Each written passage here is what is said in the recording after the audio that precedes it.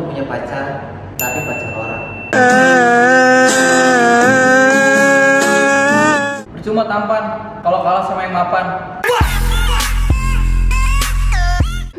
Percuma ngoding. Tapi ujung-ujungnya dia dia terangkanlah. Percuma ngoding ngoding. Terangkan. Cuma nyong sayang. Kalau ujung-ujungnya ditinggal rapi hatiku rasa percuma kuliah di kedokteran tapi nggak bisa mengobati rasa rindu setidaknya